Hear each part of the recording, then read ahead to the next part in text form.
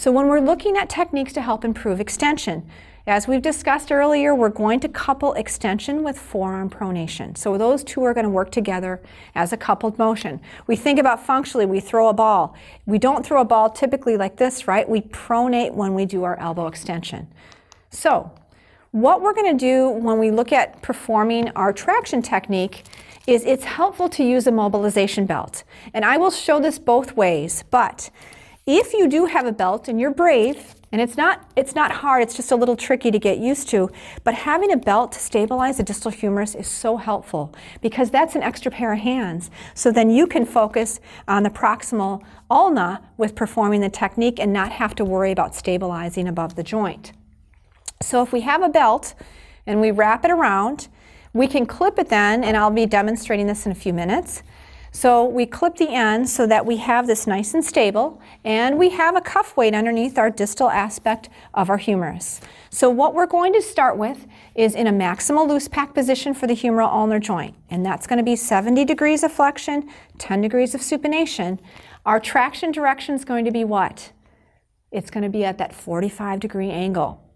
And ideally, when we're placing the belt, because that tendency of patients wanting to anteriorly tilt their scapula, it's a better thing if you can get that belt to come up and over the shoulder.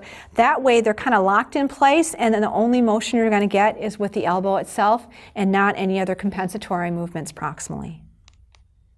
Okay, so here's showing the traction. I'm going to be starting in that maximal loose pack position. 70 degrees of flexion, 10 degrees of supination. My direction of mobilization is 45 degrees to the ulnar diaphysis.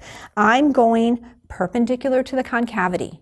So as I improve that motion, as I go further, I always have to make sure to change my direction that I'm always going 45 degrees from the ulna, wherever that ulna is.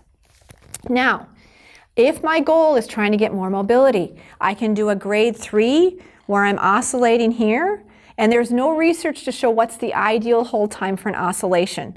So, you know, go until you get tired, until the patient says, okay, I'm starting to have enough.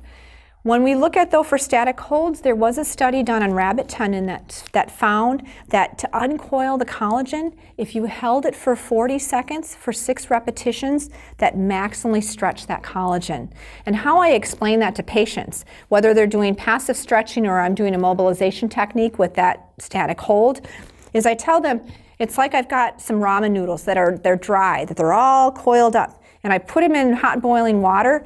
And what does that do? As we watch, as that starts to boil, those noodles start to relax and start to stretch out. And that's exactly what we're doing with that joint capsule. We're trying to gain that extensibility back.